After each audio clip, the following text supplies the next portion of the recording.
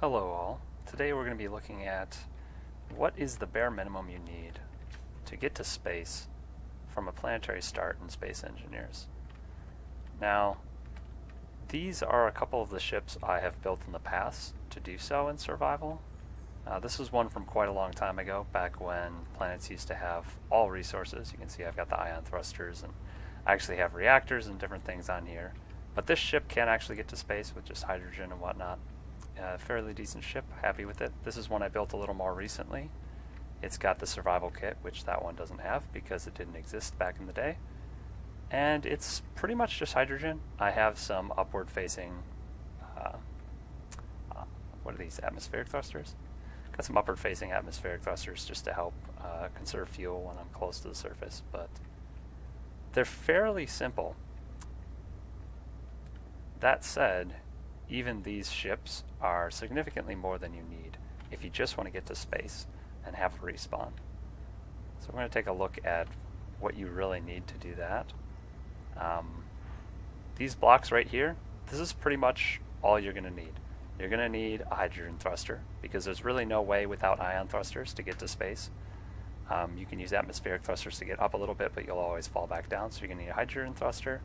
You're going to need way to produce hydrogen, so you're going to need your H2O2 generator. You're going to need power to power those things. Um, either batteries, if you can hook up and recharge or slap a solar panel on, or a uh, an engine, a hydrogen engine. Now, if you use a hydrogen engine, you're going to probably want to turn it off. You're going to want to still have batteries. You'll charge your batteries with your hydrogen engine, and then your batteries will be what powers your ship during flight.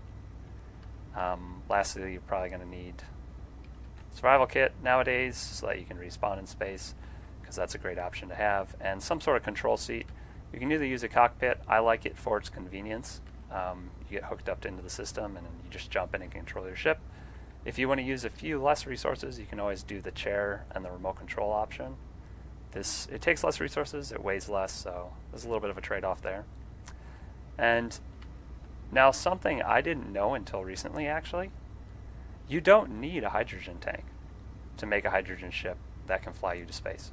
You can actually get enough hydrogen flow just from your H2O2 generator to lift a ship and to fly it to space. Um, super simple example of something like that. This right here will actually fly you to space. It's got all the parts you need. You'll get enough hydrogen flow. You just fill your H2O2 generator with ice. Um, in this specific example, you can't actually fill the cockpit with ice because then you will weigh too much. So generally, in these style ships, you just want to fill your H2O2 generator with ice, and that'll give you enough ice to use as fuel to get you all the way to space. So you got an example like that. I think uh, this isn't a great example because it doesn't have a respawn. So yeah, it'll get you to space, but you're going to have nothing to do once you get up there. And as soon as you run out of power, you're, you're going to just die and respawn back at the surface. So a slightly larger ship that does pretty much the same thing, but has a respawn in something like this. Uh, it also has a larger battery, and it has a connector. So you can connect this to your base down on the planet. You can recharge your battery that way. Uh, this ship here has no way to recharge the battery, so it's a little bit awkward. You'll have to like slap something on here to recharge it and then take it off and then fly it. Uh, this has a way to recharge it built in with the connector option. It is quite heavy though. This ship will just barely get you up there. You probably don't want to fill anything but the H2O2 generator with ice and then you can fly up to space, but then you have a respawn and you, you can build more materials and you can start a base from there. So this does work. Uh, you will have to recharge the battery uh, through base or something though. However, because you have this large battery, you can actually make this ship fly around in atmosphere with just atmospheric thrusters. So it's kind of dual purpose. Um, I kind of I like that about this design. You can use it in you can use it without hydrogen. As long as you're not trying to go to space. But as soon as you're trying to go to space, again, you're going to have to you know, just fill the H2O2 generator with ice, take pretty much nothing else, you'll be able to thrust upwards with your atmospheric thrusters at first, and then you'll have to switch to hydrogen at some point. I tried it in survival with this ship, and you will actually start losing velocity, like even with all your thrusters on at a certain point. But you will get past that point, and then you'll start you'll start gaining speed again, and you will make it to space. So that's very doable. Uh, going back to something a little more simple, you can you can opt for one of these designs. Minimal resources. Uh, this one again, it doesn't have a way to charge its battery, so you'll have to figure that one out. Uh, I actually just went and made a better version right away. This one has the uh, the engine on it, so you'll use the engine when it's parked to recharge your battery. But when you're going to be in flight, you need to turn the engine off because it will use all of the hydrogen that's produced by your H2O2 generator and you will get none going to your thrusters for lift. So you use the engine to charge the battery, turn the engine off, and then you will fly using the battery power to power your other pieces. This is actually a very good design. I like this one a lot. It uses minimal blocks. I think it's only, uh, let's see, how many blocks is this? This is only 15 blocks. And this will very comfortably get you to space. You will have a respawn point. You have thrusters in all directions, so it's easy to fly around. And uh, it, uh, it feels pretty good to fly, honestly. So you just have to remember to turn the, the engine off, otherwise you won't be going anywhere. Now this, this uh, method of just using the H2O2 generator is scalable to an extent. You can do two generators and then you can have twice as many thrusters. The thing with uh, the thing with doing this is with a design like these ones say, you don't actually want to have two downwards facing thrusters because you're from the H2O2 generator, you're only getting enough hydrogen to fuel one thruster. If you put another thruster on, it's just splitting your hydrogen. You're not actually getting more upwards thrust. You're just going to be splitting your hydrogen fuel supply.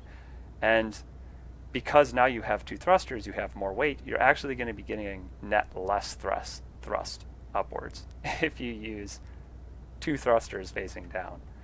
But if you use two generators, then you can get away with the doing two thrusters down. So you got another set of these on this side.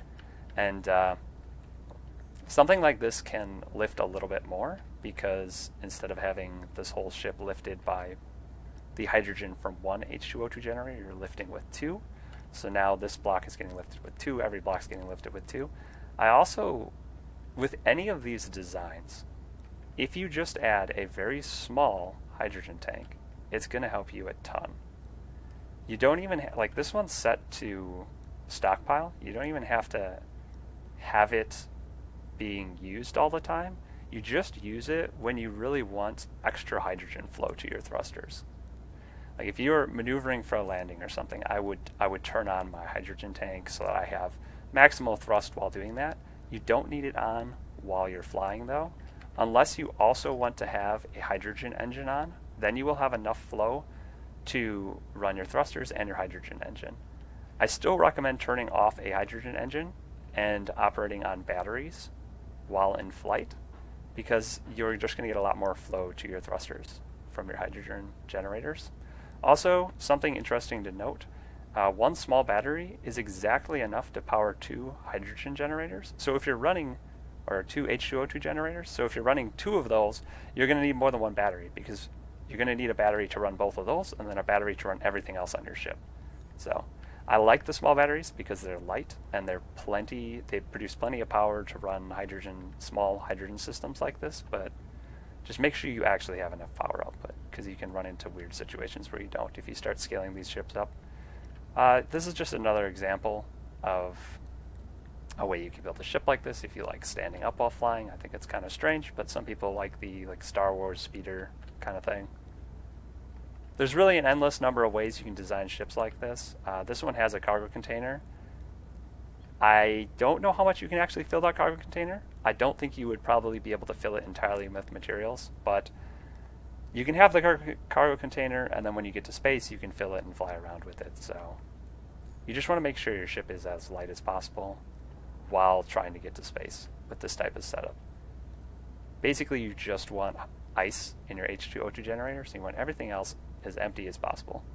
And then you'll always be able to get to space. This ship down here is kind of, knowing all this information, this is kind of the one I came up with that I would potentially use in survival to get to space. Generally, I build much more involved ships But uh, this is a very basic, simple ship that will get you to space. It has a survival kit. Uh, this timer block and button setup on the back is just my standard for survival setup. I have a timer block that turns back on the survival kit and then starts itself again, and then I have a button that turns off the survival kit. I often play in survival where respawn is forced, so you will spawn at the nearest survival kit of yours, and this just lets me respawn somewhere else if I want. I turn off my survival kit, kill myself, respawn somewhere else at the other base I want to respawn at, and then this one will automatically turn back on. If I want to get back to this location, I do the same thing there, I respawn and I show up back here. So this will turn back on. I usually set the timer block to about a minute and a half, so I have plenty of time. If I have three or four bases or locations where I can respawn, that lets me turn off all the ones I don't want to go to and get to the one I do want to go to. So that's what that's all about. Otherwise, I am utilizing the small hydrogen tank that helps an absolute ton. This ship, for example, if I jump in it and I start flying, whenever it has enough lift just off the H2O2 generator to go up. If I start going forwards or backwards while the hydrogen tank is set to stockpile, so I have stockpile on now, this ship will actually start falling a little bit because I'm using my uh, my hydrogen flow to go forwards and backwards while also trying to thrust up. This world is actually currently in creative because uh, I was trying to record this video and it was getting really annoying with uh, telling me that I ran out of fuel in my jetpack constantly because I was flying around. So in survival, this ship will actually drop a little bit when going forwards or backwards in atmosphere.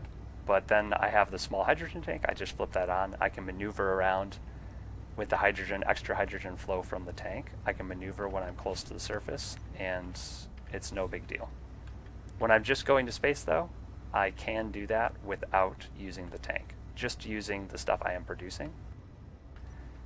And the reason the reason you might want to do this entire setup with just the the H2O2 generator and thrusters, not using tanks as your primary fuel source, is because in small ships like this, you actually will get more fuel efficiency out of just burning the ice and using it directly in your thrusters than turning the ice into hydrogen, storing it in a tank, and then using it from your tanks. It sounds crazy, but the way the uh, the like mass, the like weight to thrust ratio, overall ends up just being better if you're burning the ice and and just using it to to go. And then you don't need big clunky tanks. It's actually kind of convenient that they finally added a very small tank. Very small tanks are awesome. I definitely recommend slapping one on any of these ships. It'll make the ship better, but you don't actually need it. And if you're just going for simplicity and I just want to get to space, don't even bother with the tank. Just make a ship that can lift you and you can get to space very comfortably. Some other things to consider if you do want to make a larger ship, if you want to take things with you when you go to space, so that you don't have to start from scratch. Um, definitely use a hydrogen tank. If you're going to lift stuff, if you're going to fill a cargo container with something, you're pretty much going to have to use a hydrogen tank to get the hydrogen flow to your thrusters to lift your ship. That's just how it is. And if you can, the large tank in every way is more efficient than the small tank. So if you can put a large tank on your ship, just do it. Put multiple large tanks. It doesn't matter. You're, they're going to get you way more than putting small tanks. You don't want to put a ton of small tanks on your ship. Just put a large tank. If you can get away with only putting one small tank or a couple small tanks, that's great. They take up a lot less space. But the large tanks are much more efficient. As far as cargo containers, the efficiency for like volume to weight and all that is almost exactly the same for all of them. So use whichever one is most convenient to you. I do not recommend ever using these small ones simply because you can't pass large components and other things through them. They're really silly. This uh, connector is the least efficient size and weight wise and carrying capacity and everything, but is the most useful because it lets you attach to a base and then that lets you power your ship. And it has small connectors on all sides and a large connector on one side. So it is the most useful one to have. Um, usually, if I'm making a really simple ship, I will always have a connector. That will be my, my tiny cargo, and then it'll end up being a ship that looks like something like this, where I have the very bare minimum and my only cargo container is a connector. That's very often what I use. A few other things to consider. Um, I've been playing the game for a really long time, so whenever I'm building a landing gear, I always build the normal landing gear. But that's a 2 by 3 by 1 block, and it's a little bit heavier than the plates, and it does the exact same thing. So I've finally switched over to just using these plates. It lets me put them in much smaller areas. It lets me make ships that are a lot smaller. It lets me make ships that are the shape I want to make them they're just a wonderful block overall. And like example, for an example, this ship here, um, one of the cool things about this ship is that I can actually launch this ship through a door if I want to, through a large grid door. It very comfortably fits through these doors. Um, large grid doors, or large grid blocks in general, are five small grid blocks wide and tall. So if you can keep your your small grid in a 4x4 cross section, you can actually fly through these doors. This ship is 3x3, so it's very easy to fly through the door. But a 4x4 ship will also be able to fly through doors. It'll just be basically touching on all sides. So it's kind of just something neat that I really like. I've never actually built a ship that, or like a large ship where I would launch small ships out of doors, but I someday will for sure. I think it's really neat. Um, something else to note, the use of atmospheric thrusters. In almost all of my designs, where I'm building a ship that's going to go to space, I use atmospheric thrusters, and I almost always use them exclusively pushing me upwards. Because most of your fuel while taking off is going to be to push you upwards even while you're maneuvering for landing or doing things like that where you are going sideways, almost all of your hydrogen is getting used to lift your ship.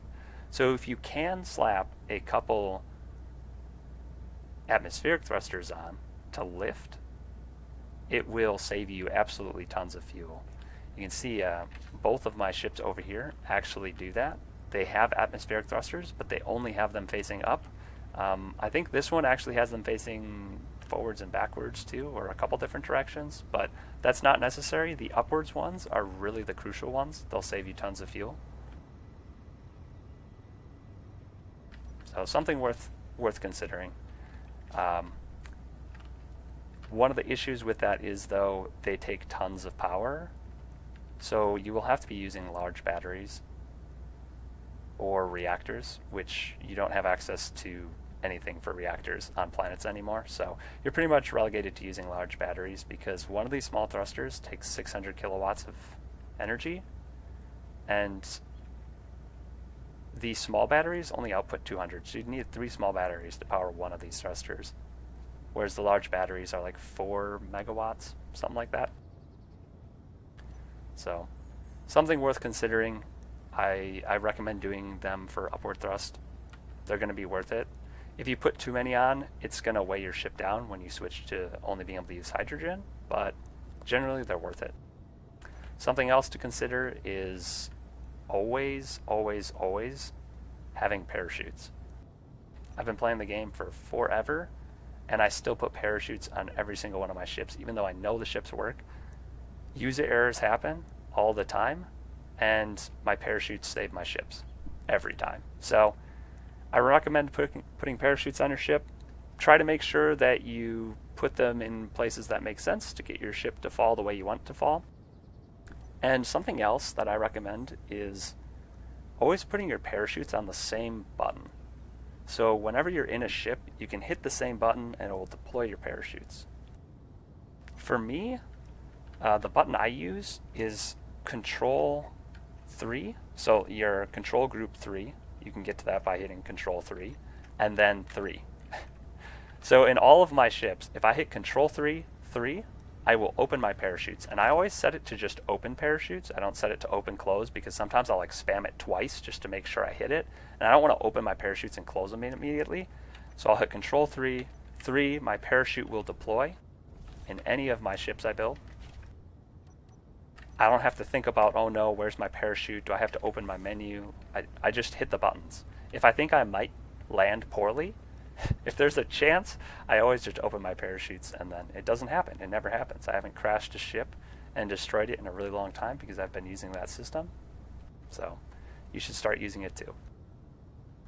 The last kind of off consideration, something I don't have on any of those ships, but I would highly recommend if you're playing in survival and you're on a planet and there is weather, you should put decoy blocks on your ship. At least one. I kind of recommend having two because usually one will get destroyed and you'll forget about it, and then at least you have another one. So if you get struck by lightning again, because that's what the problem is, uh, you'll at least survive. It won't just hit your battery and then your ship falls out of the sky and it goes boom. Again, the parachutes will help with that for sure because parachutes generally don't get hit by lightning. So that's useful, but a decoy block, if you have a decoy block on your ship, the lightning will hit the decoy block instead of any of the other blocks. It'll prioritize decoy blocks that are on. So have a couple of those. I also recommend placing them one or two blocks off of anything important. So oftentimes I'll just put one or two armor blocks down and I'll throw a decoy block on top. That usually works. Also, decoy blocks don't take power, so I always thought they took power, but they don't take power, so just slap the decoy block on, it'll save your ship for sure if you're flying in any sort of weather. And that's pretty much all the considerations I have when building a ship. Actually, there is one more thing I'd like to go over before I show you guys the last two rooms down there, and that is general takeoff procedure for any of these style ships, or just like any ship you want to take to space in Space Engineers. There's a few considerations. Um, one is you should always have your control seat or remote control or whatever you're using to control your ship facing forwards, not up. I've seen some people that like to build ships where you're sitting and you're looking upwards because you're going to blast off into space.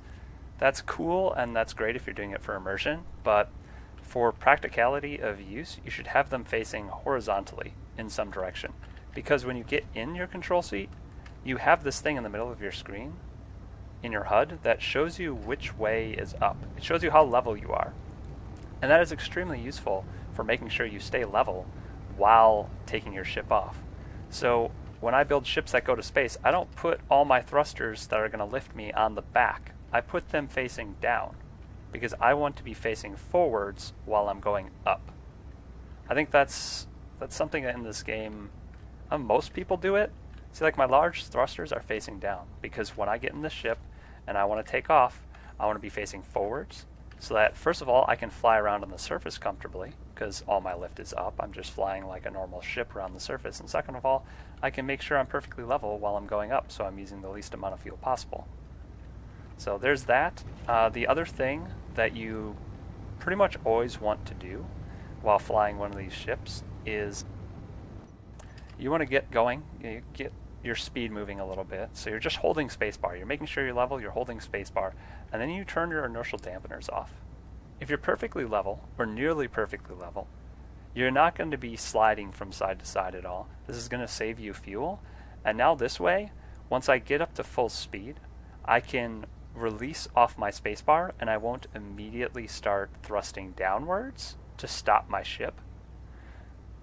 So that way I can I can release, I can just hover at max speed essentially without slowing myself down every time I come off the spacebar. I think that's incredibly important for fuel efficiency.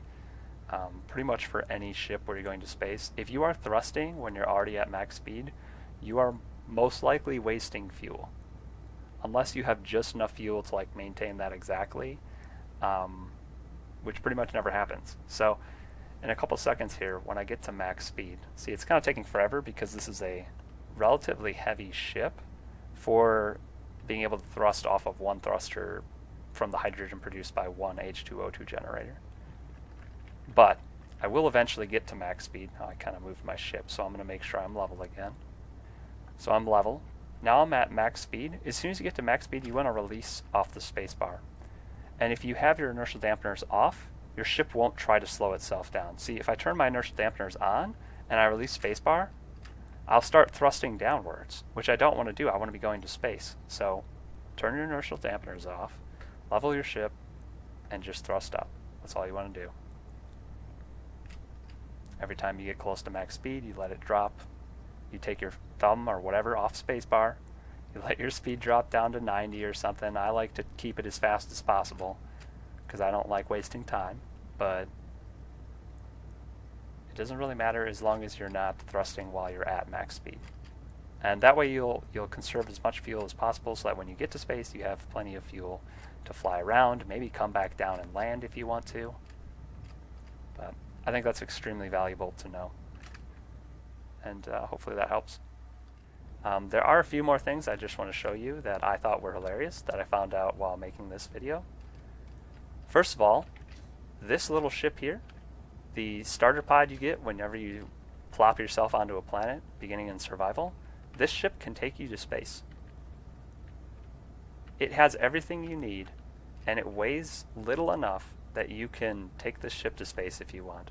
If you want to see a video of me doing that, I have one. The link will be somewhere on the card at the end of this video.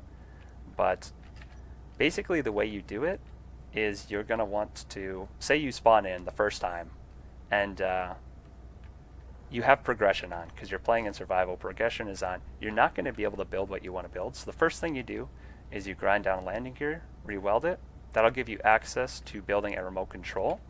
If you don't want to use the survival kit, to make remote control parts, what you can do is you can grind down the timer block, the beacon block, and the parachute block, none of which you are going to need to fly this thing, and then you can build a remote control. The remote control will unlock a gyroscope, and then you can grind down, basically you grind down one of the thrusters and pick one of these two things up here, either the antenna or the ore detector, grind one of those down. Basically all you need out of that is the computer, and then you'll be able to build a, uh, a gyroscope and from that point, all you have to do is fill the H2O2 generator with ice, take this junk out because you don't need it, fill it with ice, and then you can fly to space easily enough. It's pretty awesome. I did not know that, but this ship does have one hydrogen thruster hiding deep down underneath there, and that's all you need. That's all you need to fly to space. It's pretty awesome. Last thing I want to leave you guys with is this setup right here. This is the simplest setup I could come up with that can take a player to space. Sure, you could go to space by just filling your inventory with hydrogen bottles, but if you want to use blocks to get you to space, all you need is these three. Careful not to tip it over when you get on top of it, but you just get on top of it, open up the inventory, fill it with ice, turn your thruster on, and then thruster override. Now, as long as you don't jump, you can walk around on this. It doesn't matter. It is literally just a space elevator. And you only need to set up the... Uh... Oh yeah, I'm not looking at it. What am I doing? You only need to thrust override just enough to get you off the ground. You want to save your fuel. So as long as you're not slowing down, you can just turn down the thrust override. But this will get you to space very comfortably. There's nothing to do when you get there, but I thought it was pretty cool.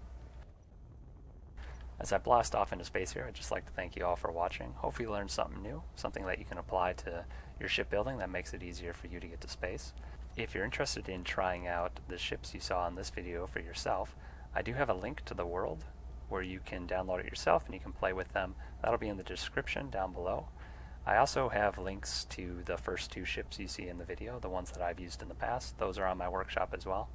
Other than that, I hope you have a wonderful day and I'll see you in the next one.